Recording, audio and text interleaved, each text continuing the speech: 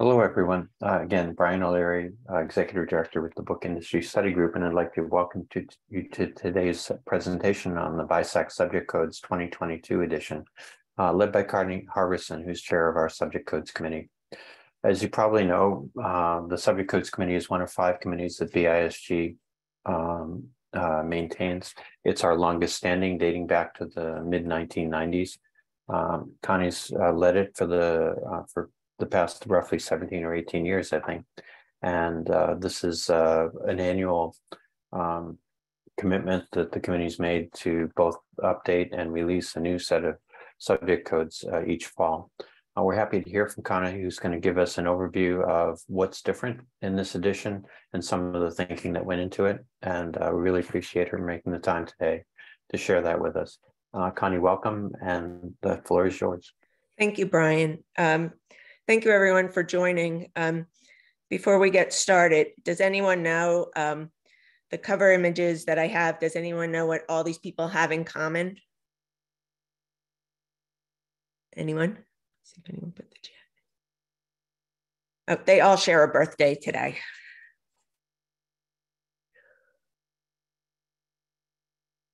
That I would not have guessed. um, so today we're going to talk a little um, about the BISAC Subject Committee, um, who we are and what we do. Um, some, some of you who have attended uh, webinars that I've given before have, uh, this is, that will probably be familiar to you. And we'll talk about the new additions, um, what's included in them and the timing of them. And then what everyone wants to hear, uh, the 2022 edition highlights. Uh, we'll talk about some hints for assigning headings and what to do if you want to request a new heading. So who we are. The BISAC Subject Committee is um, comprised of volunteers and we represent all different segments of the book industry, uh, publishers, wholesalers, retailers, data providers, um, and we're from all different positions within the company um, you know, people from very high positions, people from uh, not so high positions, and um, we all have different interests, uh, different areas of expertise. Perhaps um, some of us have no expertise in some of the uh, BISAC heading uh, top level subjects. Um, but the one thing that we all have in common is that uh, pretty much everyone on the committee is very passionate about uh, metadata and about subjects. Our, uh, goal, our mission is to maintain the BISAC subject headings, the merchandising themes, and the regional themes, as well as providing guidance on the implementation and use of the standards. Anyone can join the committee if you're employed by a BISG member company. Uh, you know, you might want to check with a, a supervisor or, uh, you know, maybe your company might already have someone represent uh, representing them on the committee. But uh, if you're not a BISG member and you're interested in being on the committee, uh, just contact Brian and he will give you all the information on joining uh, BISG. Some of the values of uh, membership on the committee is to drive the discussions on changes uh, that you think are of value in the industry, uh, to share and hear real use cases, uh, to help the committee make better informed decisions, and to bring your expertise on a subject matter in which your company may specialize or which you personally may specialize. Uh, the BISAC subjects have been around since um, the first edition was released to the public in 1994. And uh, so this is about the 28th edition, I believe. Uh, we usually release in the fall. Um, we used to release earlier in the uh, spring or summer, uh, but for the past 15 years or so, we've been releasing in the fall. Just a I, I thought this was interesting to include um, just to show you about the growth of the list. Um, so in 1997, uh, there were about 2,300 headings. The new um, the new list has about 5,200 headings. And one of the areas on the list that's always growing the most is fiction.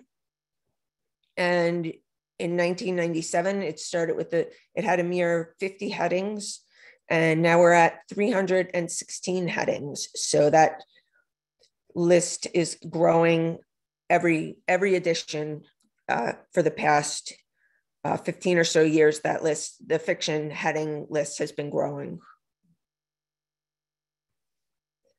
Uh, in each new edition, we make minor revisions to each section, and that's um, an ongoing basis that's based on the need, um, new books that are coming out, or incoming requests um, that people submit to us.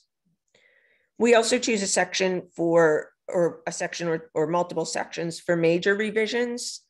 And that's kind of on a cyclical basis. Some need to be looked at a little more than others. Uh, computers is one that needs to be looked at every few years, um, while the one that I'm going to talk about in a little bit, antiques and collectibles, uh, not, not as often. And new versions of the list are released on an annual basis in the fall. So the timeline of the edition is um, October to August. We meet to discuss additions and changes uh, for that edition. Uh, that's what we're doing now. We're talking about the 2023 edition. In August, we close the edition. And then in September, create a proposal which is circulated to BISG membership for comments and approval. And then once that's approved, it goes to the BISG Board of Directors for final approval. And then in December, uh, the edition is released by BISG. So around now, when the um, the new edition is being released, we're also talking about the next edition. So the 2022 edition is coming out this week, but um, we're already in discussion on the 2023 edition. Uh, what what do headings look like? So the headings are uh, there's a, a, literal, a code, and a literal. The code is uh, three alpha letters and six numbers, and then the literal is the high level subject uh, backslash and the subheadings. Here are some examples of um, what um, what the uh, codes look like. Um, the the code is always nine characters, nine alphanumeric characters that never changes. Um, the literal, we haven't gone past four, uh, I guess three subheadings, so four levels. And in a code, the first characters represent the section. In most most cases, it's um, pretty intuitive. Uh, the only time it's not intuitive, I believe, is um, Body, Mind, and Spirit, which has a code of OCC, uh, because uh, a long time ago that used to be uh, occult occultism, and when it was changed, when the literals were changed, the codes stayed the same, so people would not have to reclassify all of their all of the books they had with an OCC heading. You, the though the numbers look hierarchical, they can't um, be read as such, and the codes are intended for uh, use in electronic files and the literals for print and display purposes. Just an example of the subject numbers if you look at the blue ones, they are um, hierarchical. So um, at one time, those headings were all next to each other.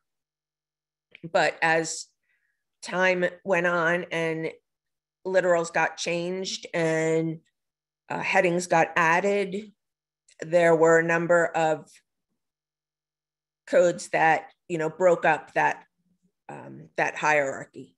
So that's why you can't uh, depend on any kind of hierarchy for um, for coding.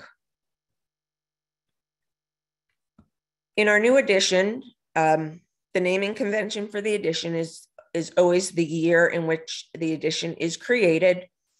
So even though it's December, we're still coming out with the 2022 edition uh, because we created it in 2022. We closed this edition in August. It's the 28th edition, and hopefully it will be released this week. Uh, in a new edition, you'll find what you'll find is literal changes, inactivations, new headings, and sometimes a reactivation. Uh, reactivation is when a code was inactivated a long time ago and we're suddenly finding books coming um, being published on that topic and decide we need to reactivate the code. When we make literal changes, we do that to either update a literal to a more common or acceptable term, uh, to organize similar headings um, into trees, and sometimes to expand or clarify the scope of a heading. And sometimes we'll use a literal to reduce the scope of a heading. So sometimes you'll you will have to, when there's a literal change, sometimes you will not have to move data, but sometimes you will have to move data. Um, on the, with a scope reduction, um, you will most likely have to move data at, uh, for example, at one time we had cooking, vegetarian, and vegan. But as more more and more books were being published on veganism, we split it into cooking vegetarian and cooking vegan. So if you had books um, just about veganism on under that heading, you know how to move them to a new heading because vegan was no longer a part of the older code. Um, so you will have to sometimes we'll just a literal will just uh, we'll just add a cross reference to it or just um, you'll see as i go on make a what is appears to be a pretty minor change to it but doesn't change the meaning. Uh, i've mentioned before uh, trees making things into trees. So i'll just mention about trees and branches. Uh, we have level one, which is the main topic, and that shouldn't be used alone. So that's something like fiction. And then level two would be the subheading. And then level three would be the sub subheading or a branch of the level two heading. And level, that could go as far as level four. So the first branch of a tree starts with the general.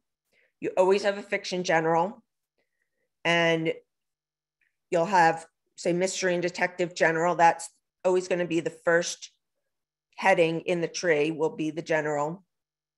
And that's even when you have the next, uh, even for the level four headings. So you have fiction, mystery, and detective. The tree is cozy, the cozy tree, and then it starts with general um, there's that's basically how the uh, mystery and detective, how a part of the mystery and detective tree would look. So starts with mystery and detective. Um, you can drill down to cozy, and then you can drill down to other headings within cozy. For the 2022 edition, we added uh, 109 new headings, 46 literal changes, one inactivation, two reactivations, and one new heading to our merchandising themes. This is just um, to give you an idea of what we added. So we added a heading to 27 sections. It's about half of the sections. Um, as I said, some of these headings were based on uh, suggestions, sometimes research that um, committee members do amongst their own titles to see where there's gaps, where they have too many general uh, titles coded as general. And we changed um, literals in 19 sections. So not as many literal changes as additions. Uh, that seems to be the, um, that does seem to be um, the way it's been going lately, that we've had many, many more ads than we have had changes. So today we're going to look at um, juvenile fiction, juvenile nonfiction, young adult fiction, young adult nonfiction, antiques and collectibles, comics and graphic novels, fiction, literary collections, literary criticism, and poetry. Uh, here, I usually choose uh, the sections where we had the most changes, but um, I just want to look at the juvenile and young adult sections um, briefly to uh, explain one of the changes that we made. So for several of our meetings, we worked with experts from uh, BookNet Canada and a company called Chickasaw Press.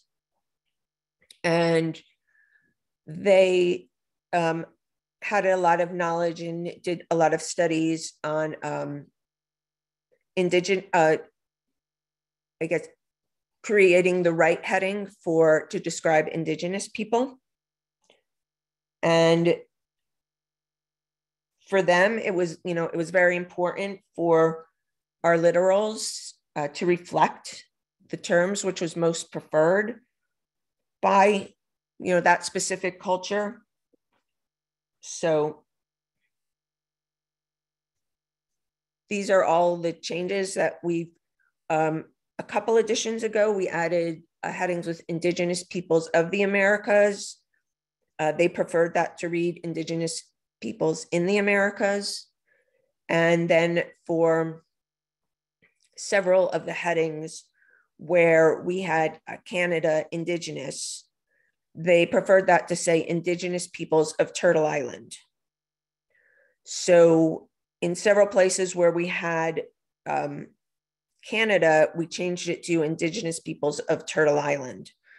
And you'll probably right now we've made those changes in juvenile and in young adult and we um, and one in poetry but you will probably see that um, going more going forward as we continue to go through the list to um, you know to to accommodate their requests in case you're unfamiliar uh, turtle island simply refers to the continent of North America. And settlers renamed Turtle Island North America. If you want, if you would like more information on the term Turtle, Turtle Island, you can refer to uh, the Canadian Encyclopedia.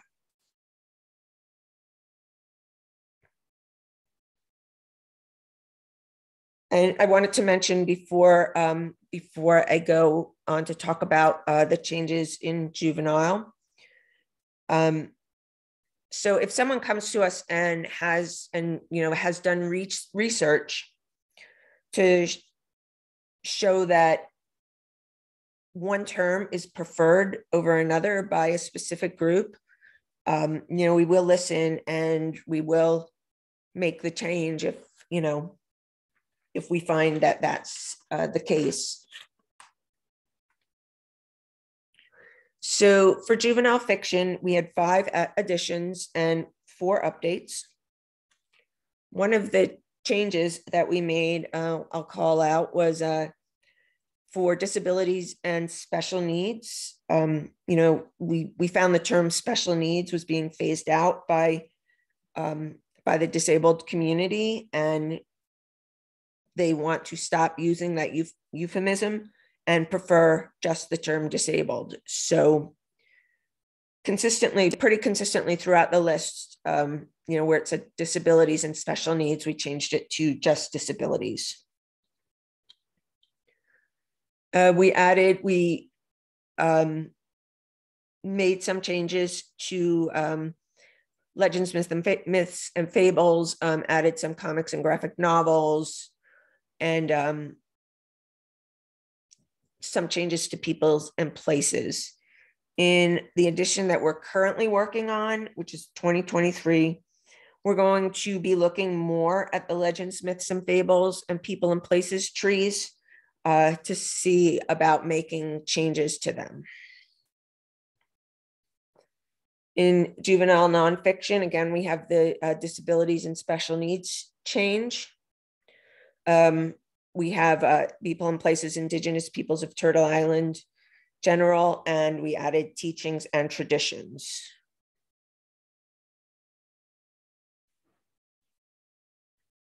Um, as I said, the, the especially in juvenile fiction and juvenile nonfiction, the if we make a change in one, we generally make that same change in the other or addition. If we make the addition in juvenile fiction, there's a good chance we'll add it to juvenile nonfiction, but not always. Young adult fiction, um, we added uh, two headings and we updated one. Um, we added Indigenous uh, people and places, Indigenous peoples of Turtle Island, and we added urban and streetlit. And that was a heading in uh, the fiction section that we were finding a lot of young adult fiction on as well. And in young adult nonfiction, uh, we did, we added two and we updated one. And that was, uh, they pretty much mirror what we did in young adult fiction. So the one section that we updated the most was antiques and collectibles. Uh, you know, so in looking at this section, um, the last time we updated this section was in January of 2000. So it had there there hadn't been any real changes to it in about 20 some years. Um, some of the headings we found were um, that were inactivated at that time, we found we needed to add back in. We um, so you know while the world of antiques and collectibles uh, may not change very much, um, I guess what people collect and um, the way in which they buy or sell things have changed over those 20 years. So in this section, we created two trees, one for buying and selling and one for subjects and themes. And there were a number of literal changes um, here because we moved um, several existing headings into the subjects and themes tree, as well as adding new headings to that tree.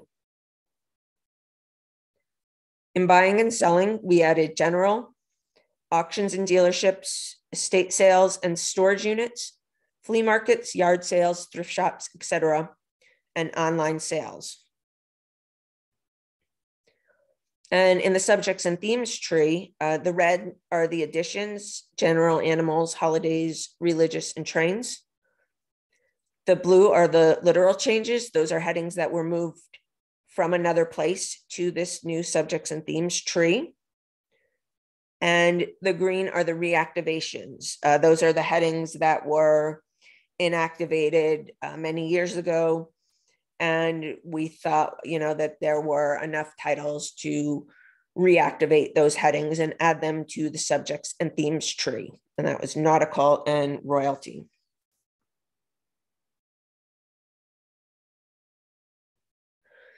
also for 2022 we started talking about comics and graphic novels.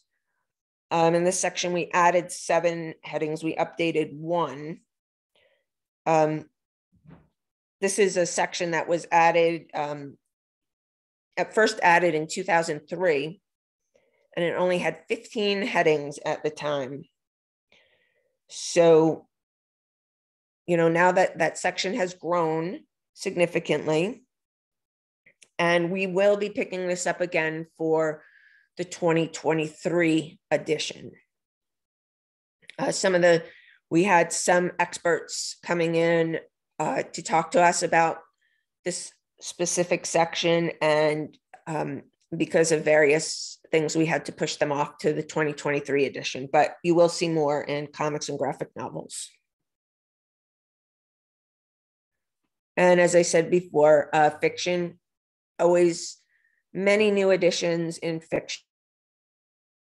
Uh, in this section, we added 10 headings and we did three updates. Uh, so some of the headings we added, diversity and multicultural, um, we created a historical 20th century tree, um, which we moved some headings into, and we created a performing arts tree.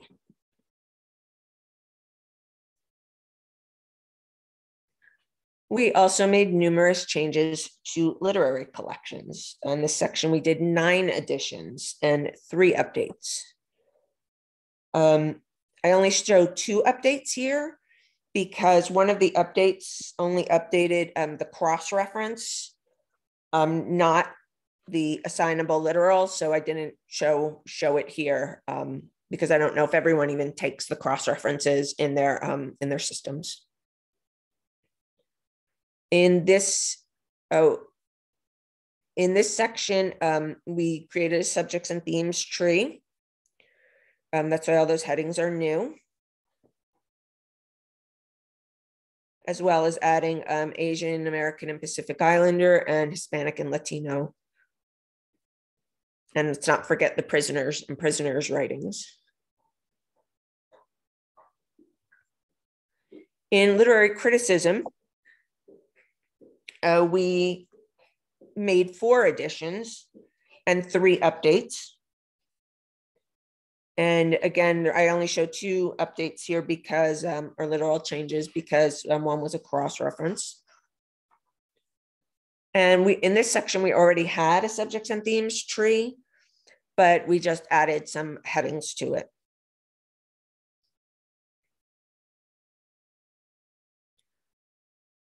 And poetry was another um, one that we made uh, several additions to. And this one we added five headings and made four literal changes. Uh, this one too already had a subjects and themes tree to which we just added um, political and protest and war.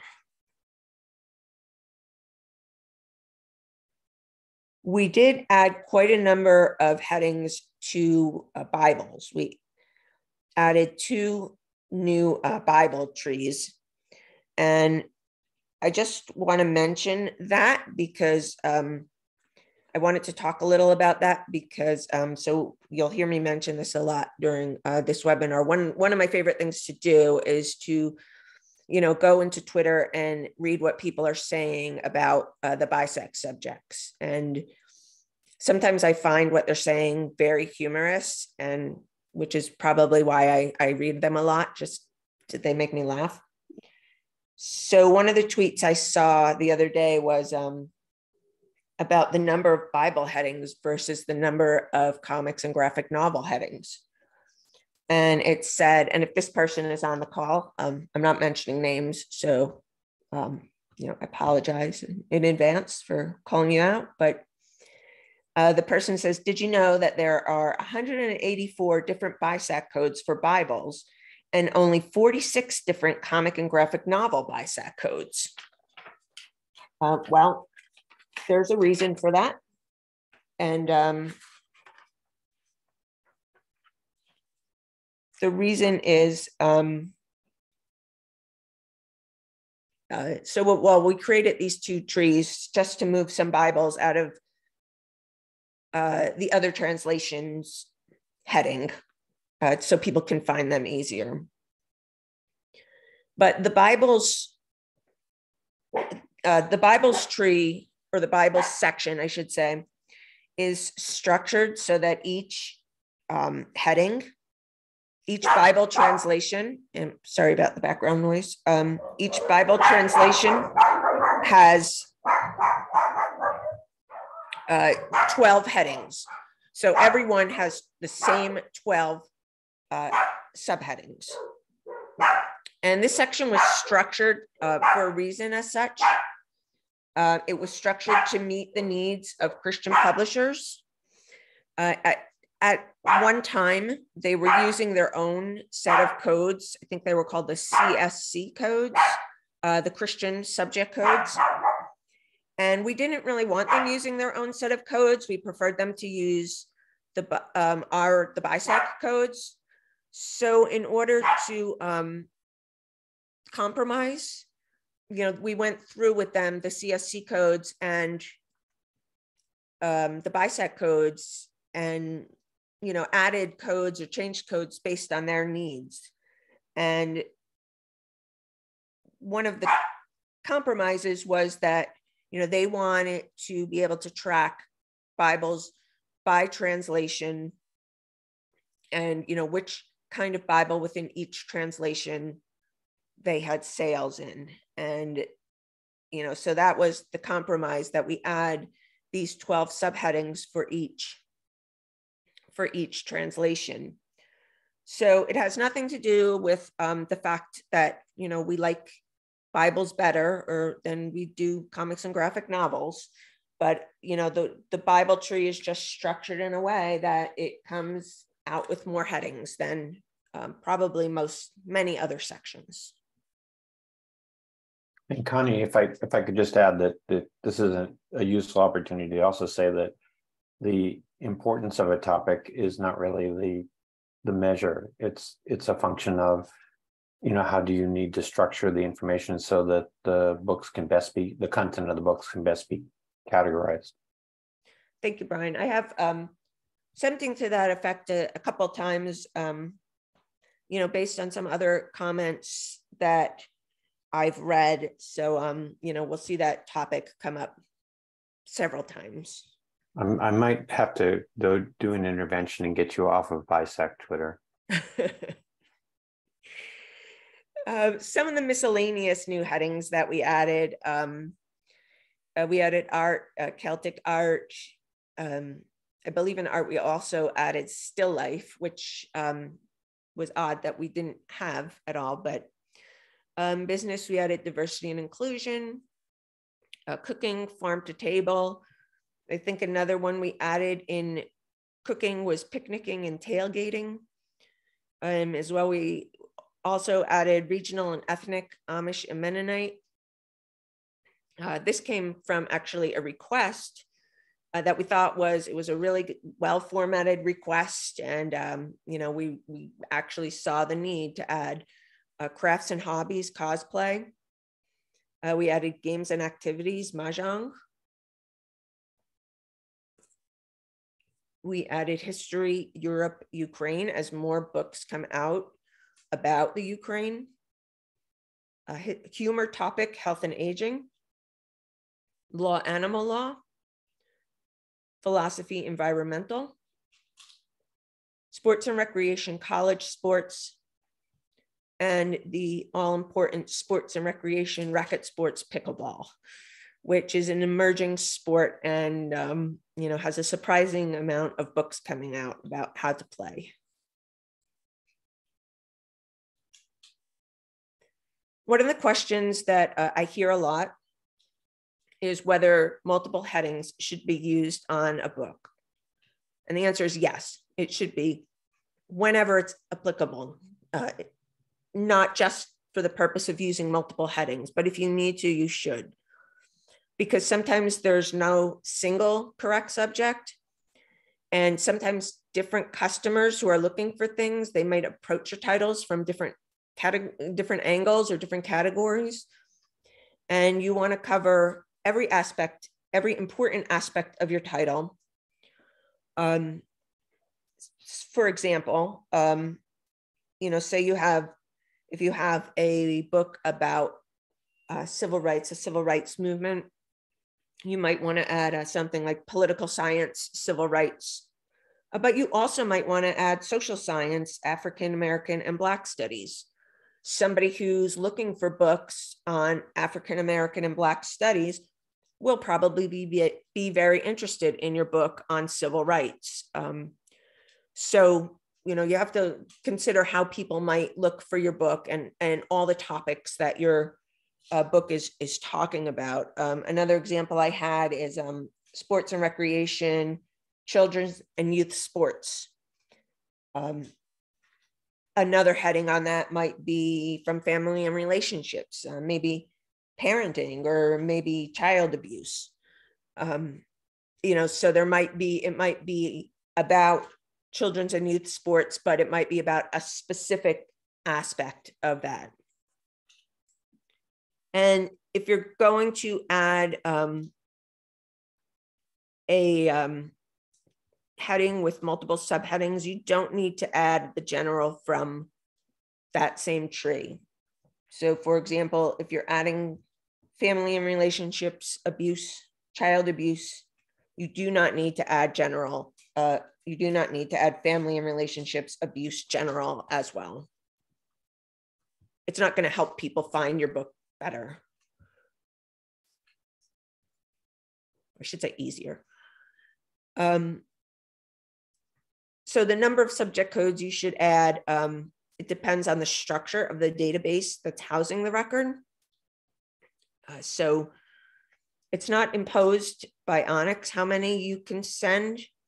Um, but in some cases, uh, a data recipient might only be able to accept one or two or three. Um, so you usually want to put them in some order of importance. So in the event that um, the recipient can only um, can only accept one, uh, you want them to accept the most important one. And um, you can assign more than three, but it's not, um, uh, there's some point they stop, stop being less or they're less meaningful. So like you don't want to add, you know, like, oh, my book's kind of about sports. So I'm going to do sports general, but history of sports. So I'm going to do history general. You know, people won't find your book um, when you're adding those more general topics. Uh, some of the best practices um, that you should think about when you're assigning headings is that um, the subject is based on the book's content. It's not about the merchandising plans of the publisher.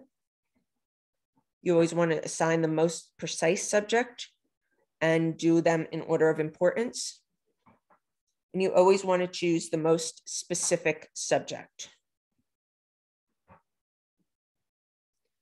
um, and consider what we call logical guidelines. So if you're adding a fiction subject, you know, you shouldn't add a nonfiction subject with that. Um, a book is generally not both fiction and nonfiction. So you usually just use the fiction headings um, by themselves without adding something else like history or political science.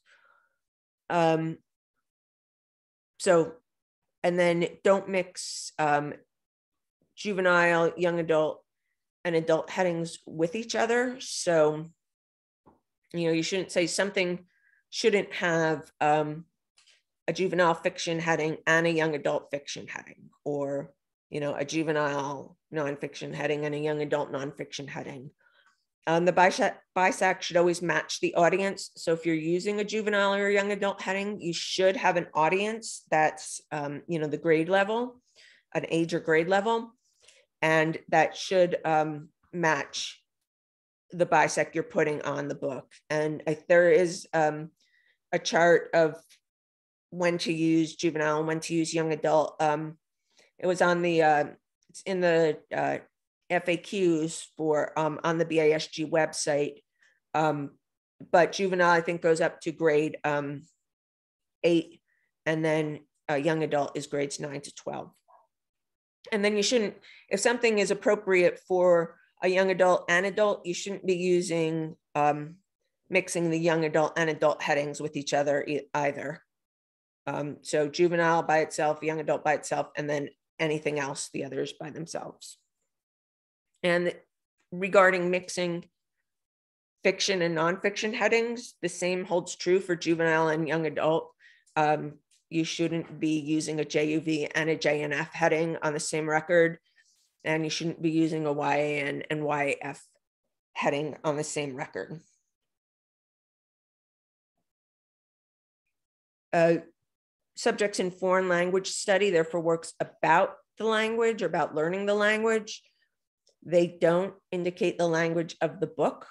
So um, if the book is, you know, written in Spanish, it doesn't get foreign language study Spanish. Um, you know, even especially if it's a translation of a fiction title, uh, it would get the same the same fiction heading as its English version. Uh, when you're using health and fitness headings, um, you know, keep in mind that those are aimed at non-professionals and for scholarly works and uh, titles for professionals, they uh, you would use the medical um, headings in the medical section. And this uh, concept is um, applies to several other uh, sections. It applies to um, nature versus science. Nature books are more um, for lay people, science more for professionals, uh, self-help more for um, you know people who don't have psych- psychology degrees or and then psychology more for uh, professional books on um, psychology uh, textbooks maybe that you would use in a classroom.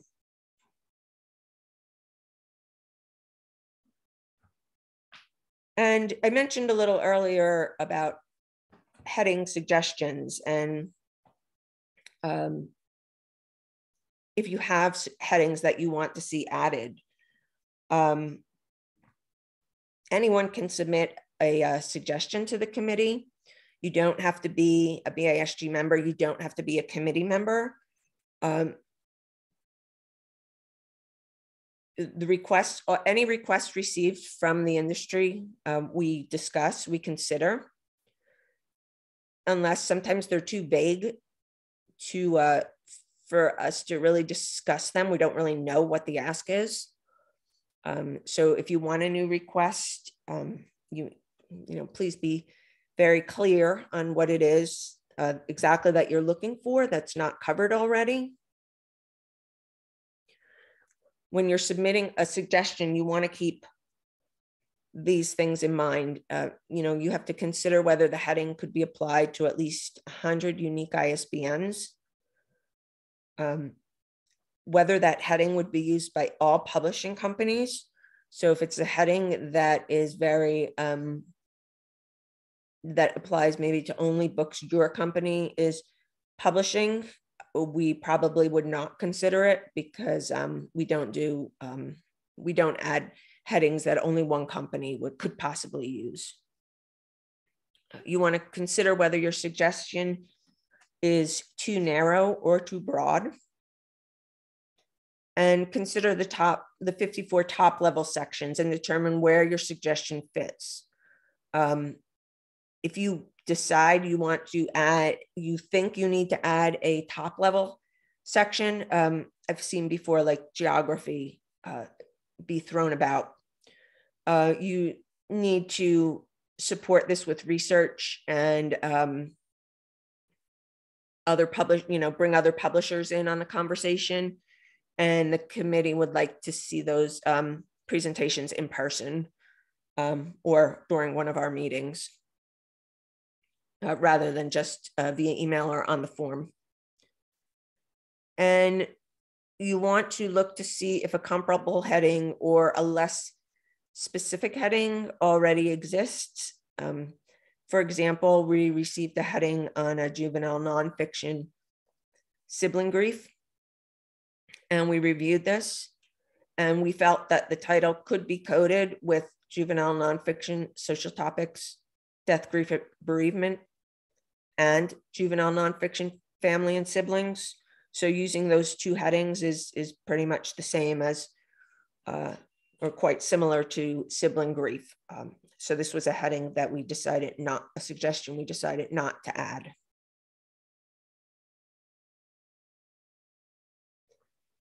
Uh, so if you want to submit a suggestion, I usually here I show the um, the BISG website, but I know there's some updates going on to it. So I'm not going to show, I'm not going to go to the BIS web, BISG website to show the form, but I do have an example of the form. Um, this is just the beginning of it. Uh, so you would say whether you're doing a, a new heading or you want to change an existing heading. If you want to change an existing heading, tell us exactly what the code is for that heading um, and what you want to change, what you think needs to be changed about the literal. If you're doing a heading request, uh, select one of our high level headings and put your request in. And there's a spot to do to put examples in. So you have to provide at least uh, three examples for the form to go through. Um, a couple, I would love to do, uh, besides my Twitter, um, my tweets, I'd also like love to uh, do a webinar one day on, on how not to submit one of these forms. And um, that too would be quite humorous. Um, but a couple things to say um, about it is you know i'd prefer if you didn't if you didn't flood the form by having um, you know hundreds of people put in the same suggestion because we will base our decision on the books available uh, not the number of requests that are made for a certain heading. Um, and to not put in multiple requests for the same heading but under every single high level section. So there's no need to put a request in for something under medical and health and fitness and family and relationships, just the same subheading under, you know, every single high level heading. Um, Brian mentioned before when I when I uh, talked about the um,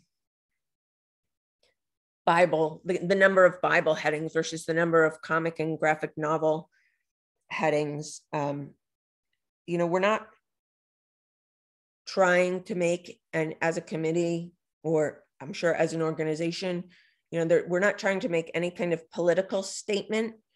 Um, everything we do is based on, you know, everything we do is driven by books, by the books being published. Um, there was uh, on one of the suggestions that came in, someone wrote, uh, this topic deserves its own category. Um, you know, does it? We don't know, you know, like if he didn't give a hundred examples, then, um, you know, we have to research that. And if we can't find them, then maybe it doesn't, if it's um, not something people are publishing books about or maybe it's a heading that we feel is already covered by something or that already fits into something that we have. Um, for example, um, somebody added or put a suggestion in about um, child loss, loss of a child uh, as a baby. It was a perinatal bereavement. And we have a lot of headings on uh, death, grief, and bereavement. Um, and then, but we did ended up taking an existing heading, uh, which was miscarriage, and we changed it to miscarriage and baby loss, as most of the books, you know, a lot of books combine those two topics to talk about, um, you know, miscarriage and baby loss as uh, in the same context. Uh, so we just added that to um, to meet her needs. Um, and I also wanted to mention that um, so BISAC doesn't reflect the audience of the book. So, you know, if you have uh, one of the subjects that have been has been coming up is fiction women, and um, it, it's been implied that that heading is used for books where the audience uh, should be women. And uh, that's not what the heading is for at all. Um, you know so we do have headings that you know call certain things out call out certain um, genders or races you know just because there's books about that. And people are looking for those books. People want to find you know perhaps people want to find books about fiction books about asian americans or with asian american characters um, And one of the misconceptions that I usually see is that because a heading is kind of describing one thing or says one thing, it means all of the other headings mean the opposite. And that is not true at all either. Um, one that I see a lot of complaints about is fiction uh, clean and wholesome. If you're adding fi- fiction clean and wholesome, that does not mean every other book out there, every other work of fiction is not clean and wholesome. It just means your book is clean and wholesome. So you assign that heading because that's how, you know, there's some audience that's looking for books that are clean and wholesome and they want to know that, you know, they want to know what kind of characters in a book. They want to know what kind of, as much as possible, what kind of content in a book because they're going to limit their search to, you know, just those types of books. So, um, you know, there's no, I've seen every kind of every kind of comment there is about um, you know why we don't have some headings or why we do have some headings and um, it's not our failure to you know recognize a country. It's not um, our failure to recognize a class or you know why why does pets only have 15 headings? Does that mean pets are the least important? Um, you know no it's just you know as i said uh, the books are driving uh, the subjects and we um,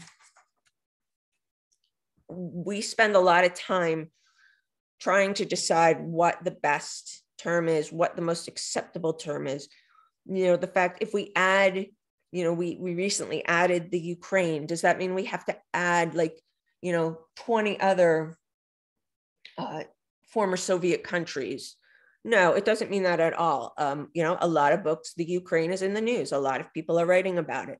A lot of people aren't writing about some of the smaller countries. Maybe they will in the future. Um, but, you know, so, you know, we're looking at topics, um, current topics, and if, you know, if people are publishing books about them. Um, Connie, I just wanted to, to have you pause for a moment. We have a handful of questions. Do you want to take those or do you want other things? I think I'm finished, Brian. So yes. Okay. Well, um, um, one, one question was, is simple to answer, which is if you could just navigate back to the first best practices slide. I think somebody was taking notes. Um, but in a comparable way, somebody was asking if you would share these slides, and I, I think you've done that in the past as well. Okay. Hi, Helen. I see a question from Helen, who I haven't used to be a committee member and haven't seen in forever. Um, Helen's question is specifically um, to uh, do we recommend users code their titles from most specific to more general? Yes. Because if you you want to do it from most specific, just in the event that um, in the event that the person you're sending it to can only take one. So you want them to get the most specific and not the most general. And I'll, I'll ask you Adam's question in a moment, but I was wondering if for, for Gene, he'd asked if you could display the first best practices slide. So I think you just need to back up a bit.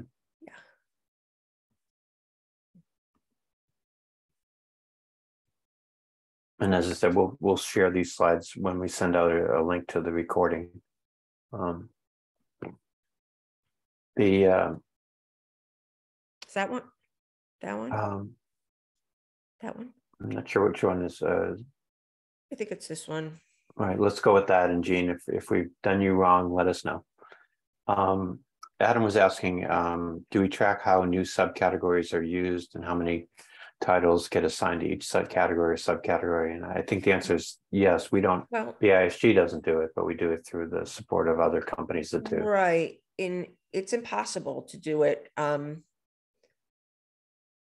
based on what every company is, you know, assigning how every company is using a BISAC or what every every book that a company has in their database. Um, you know, so from you know my standpoint, yes, Baker and Taylor, we do look at how many titles are assigned to each, you know, to different BISACs. In a lot of cases, that's how I make suggestions on what should be, um, on what should be inactivated or what should be, um, you know, maybe something that uh, where we have it in general and there's tons of titles about it. So we need to add a code. Um, so people do track that, not BISG as as an organization, because every single company using BISACs is not providing their information to BISG. And, and I think there's also uh, generally when the committee is trying to think, as you just said, about whether, you know, maybe we introduced a subcategory three years ago or five years ago, and it's not seen much uptake, that does affect our thinking um, about whether to maintain it or perhaps to change the literal, et cetera. And just on that topic, we do take into account, you know, that books, even though books aren't being published on something anymore, and you know now they're, but they're still there and they're all out of print. We do take, you know, um, things like that into account. I mean, I can't tell you how many meetings we talked about whether or not to inactivate the code for Fortran. Um, and, you know, just based on, yeah, nobody's really publishing books on Fortran anymore, but there's like, you know, several hundred backlist, you know, that are out of print on Fortran. So, um, you know, we do take things into consideration and we try to consider every aspect because we have different people from different kinds of companies and different kinds of you know positions there um, we try to cover every um, aspect i guess of, of the industry and what the industry might be thinking thanks adam also asked if there's a comprehensive guide to um, the difference say for example between nature and science and i think this is an opportunity to point out that there are in each category the text at the top of the page oh, yes. is often an explanation of how to use that category Yes, um, Brian's right. If you have the, um, if you have the Word version of the list, um, it's the usage notes. They're at the beginning of the entire list. There's usage notes for each um, high level topic. But if you're looking at the website, then the usage notes for each topic should be right above um, the headings for that topic. Yeah, and not not every category has it, but almost all of them do and it's a really useful guide for how to use that category. And the committee's given a lot of thought to uh, that explanatory text. Uh, we have time for one more question. It's it's related to the Turtle Island codes. Um, Mary's asking, are they going to affect Native American codes like juvenile fiction, people and places, U.S. Native American, or are they Canadian Indigenous? And I think the answer is kind of split, because on the one hand, it's uh, you're anyone is free to use what was introduced this year for indigenous peoples of Turtle Island, but we are maintaining the U.S. Native American um, codes. Correct. Yes, we are uh, maintaining um, the Native American codes, and um, you know, to be honest, I mean, with in regard to um, Turtle Island, when it was first proposed, I had never heard of it myself and had to look it up and see, you know, like what um, what it was being used to refer to. But um, you know, the person that we had uh, from BookNet Canada came in, did a very thorough explanation of everything, and um, you know, had interviews with um, Indigenous people, and it was just, you know, she was very convincing that this is what you know this is what they want to be referred to as and um, uh, that was you know something that it's when somebody has done all that all that uh, research and you know presenting you with uh, information that they've gathered you know that's you know we kind of understood okay that's what they want. That's what you know none of us are you know ind- indigenous. So we have to go with what the research shows. Yeah, and I think that that is a good example of a the kind of partnership that the committee tries to create on an ongoing basis is to look to subject matter experts and people who've done the research and make the subject headings useful for people who are trying to describe the books that they're publishing. So there could be no better summary, I think, of the work you've done, not just this year, but really for the two plus decades that you've been involved in this committee. Um, and as I as I said, so coming, we you know we started talking about comics and graphic novels. but there were people who liked comics and graphic novels, but no one from a comic and graphic novel department or company. Uh, so we kind of put that discussion on hold until we could get those people into a meeting, and we'll be doing so for 2023. Great. I look forward to that. I know that'll be a good discussion. Connie, thank you for making the time today for going into such detail on both what the upcoming changes are going to be. I want to let folks who are still on the call know that the code list is ready and published. However, we are changing our website uh, tomorrow. Uh, it's it's in queue to be launched tomorrow, and the the access to the subject code list may not be fully available until the end of the week or the beginning of next week, because the propagation of changes in DNS records takes 24 to 48 hours. So if you need an absolute, if you absolutely need a copy of the code list this week, write to me. Uh, you can write to the office at info, I-N-F-O at bisg.org and we'll figure out how to get you a copy and we'll work on billing or anything else um, in a separate transaction. All right. And if anyone has any, um, if anyone has any questions um, just about a subject or about making a suggestion or, you know, just drop me an email and, um, you know, about participating in a meeting just to see what it's like or um, send me an email and, um, you know, I'll be happy to talk about it with you. Yep, there's no better resource than Connie Harbison when it comes to subject codes. Thank you again, and thanks everybody for who's participated today. Take care. Thank you.